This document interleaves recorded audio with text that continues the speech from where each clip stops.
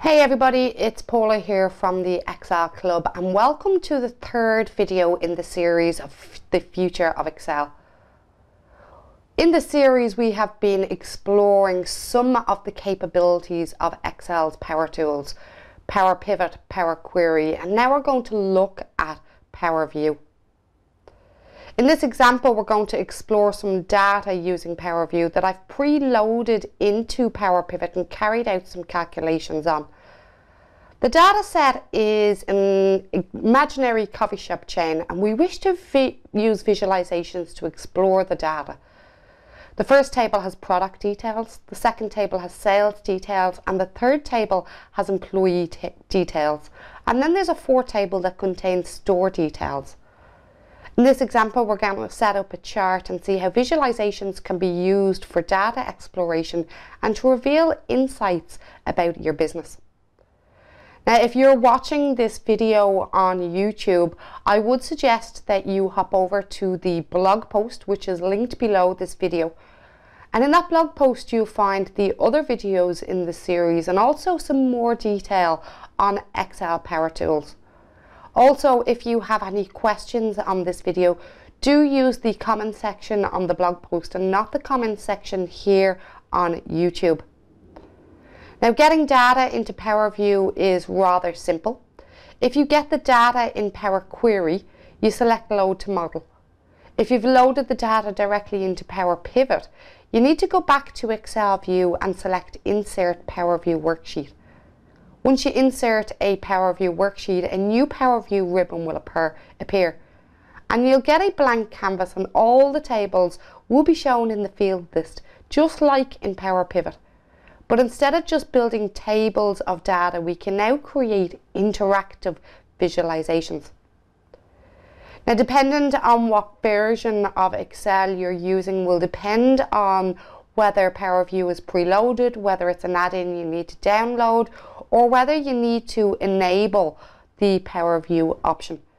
But we're not going to look at that in this video. Instead, we're just going to explore how to use Power View to visualize data and see how this can be used to identify trends and other areas in need of analysis. So let's hop over to our model and have a look at this now. Let's look at building our first chart of data. So we have a new Power View window open and if we go to our stores, let's pull in our outlet name and we'll drop our outlet name in over here and you'll see the outlet name has come in and you can make that bigger and you can make it smaller. Let's also then add in our sales value and we'll drop our sales value in here. Now we have just a normal table of data here. We don't have a chart, we don't have a matrix, we have a normal table. Let's see what happens if we change this to matrix. So when we change this to matrix, this box over here changes. And now what we have is we have rows and we have columns and we have a value. So we could add stuff in here to, let's just say we wanted to add in our year to the columns. And now it breaks the sales further down by year, quite like the way a pivot table would actually work. So I'm going to take the year out of here and we're going to build our first chart. So the first chart we're going to build is going to be a column chart and it's going to be a cluster column chart. Now when I press cluster column chart, watch what happens over in the power fields. So these have all updated now and we have got new fields. So we've tile by, and I'm going to show you tiles in a couple of minutes. We have our sales value in our values box. In our X axis, we have our outlet name and we don't have anything in our legend, nothing in our vertical multiples and nothing in our horizontal mul multiples. So let me just show you this very quickly. In If we put in, let's take our stores again and I'm going to take our outlet name and I'm going to put that into our vertical multiples and I'm going to make this a little bit bigger. And what this will do is it'll give you the stores individually in small little charts going vertically across the screen. If we move it down to horizontal multiples, it puts it in horizontally and if they don't fit on the screen, you get this scroll bar here so you can scroll over and see the other charts that are actually available. So let's just move that up this time to legend. And now we can see each store by a different color. If we click, for example, Jack's, it's just going to highlight Jack here on your chart. And then to remove that filter, if we just click on the white area of the chart, the filter is removed. And if we click again on Lisa's coffee shop and just click away, the filter has been removed. What we're going to do now is we're going to make this chart more interactive. And the way you can make a chart like this more interactive is using hierarchy. Now there's two types of hierarchy. There's ad hoc hierarchy and there's hierarchy that you would have set up in your data model. And I'm going to show you that when we're doing pie charts. But for this example, I'm going to show you how to set up ad hoc hierarchy. Let's start by selecting employee and we're going to select the employee name. We're going to take the employee name and we're going to drag it down to the axis. Now when we dragged it down to the axis, nothing here on the chart actually updated. Let's take another filter and this time let's pull down our month. Let's also pull down our week number. Let's pull down our product. Down to product description. So now we have added a number of different fields into our axis. So what we can do with our chart now is we can drill into our chart to get further insights and further analysis. So let's look at Amber's coffee shop. And if we click it once, it just brings us, it just highlights that one particular field. If we double click, this is going to drill down to the employee name.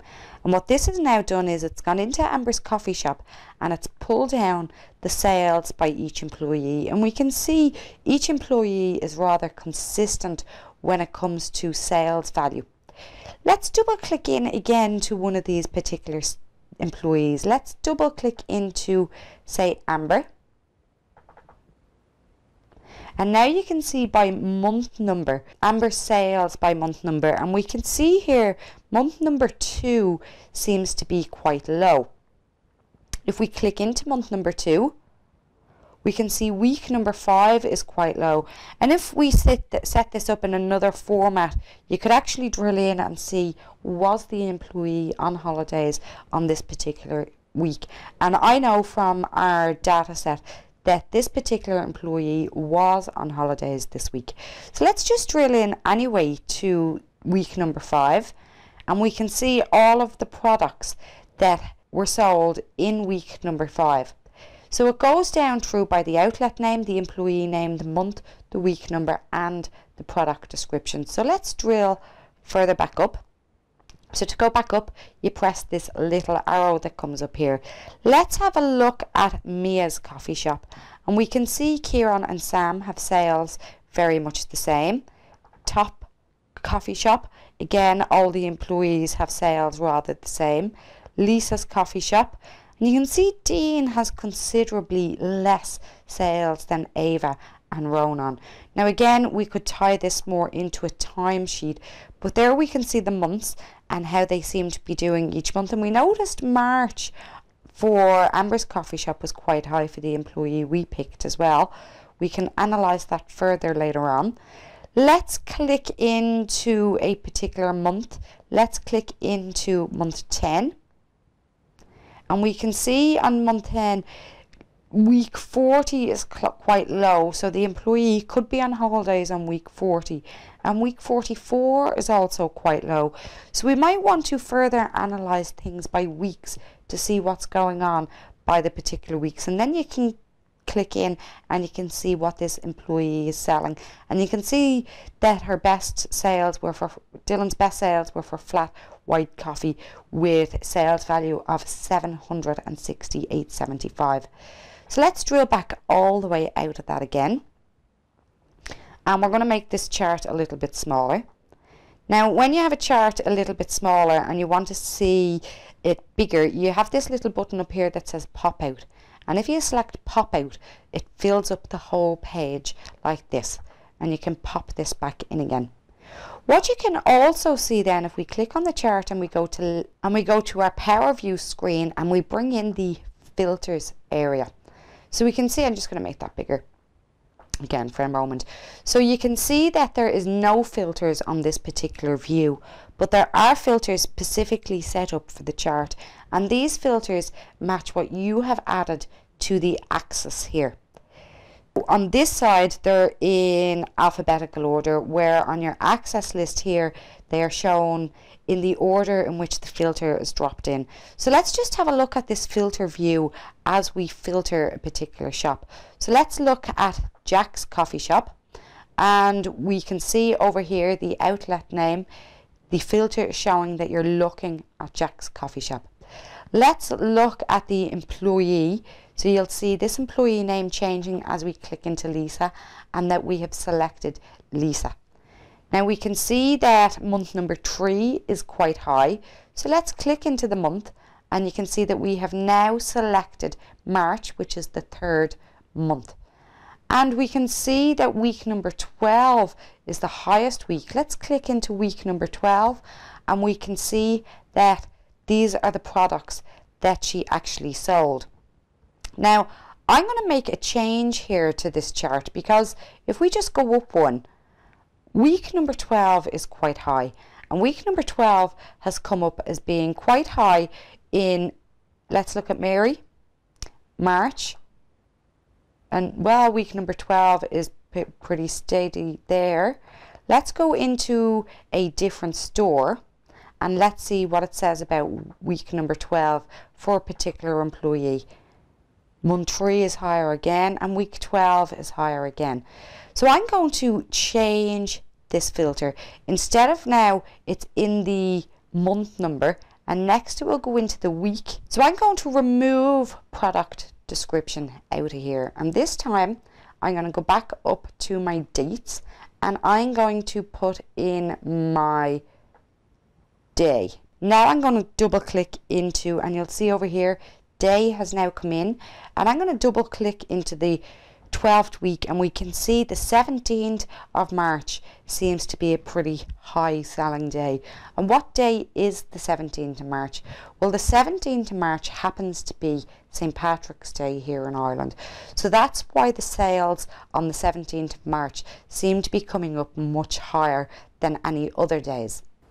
So that's our presentation of our demonstration of PowerView and how it can be used to explore data, how visualizations can be used to explore data, to identify trends and to see things that need, may need further analysis. As I mentioned, it depends on what version of Excel you're using or where you'll find PowerView and it seems to be more hidden in later versions. Now this may be because of the new features in Excel that allow you quickly analyze stuff through Power BI. So what's Power BI? Well, Power BI is a separate package, but it's been made up of these three power tools from Excel. Power Query, Power View, and Power Pivot all bumped into one data visualizations package. It's a completely separate package and it's something that we will look at in a different demonstration. I hope you enjoyed this series of videos. If you missed any of them and you're watching this on YouTube, there is a link below the video to the blog post and the blog post contains all three videos in this series, The Future of Excel. If you're watching this video on YouTube, I hope you will like and subscribe to my channel. And don't forget to share this video or the blog post with your friends and with your colleagues. Thank you very much for watching. Goodbye now.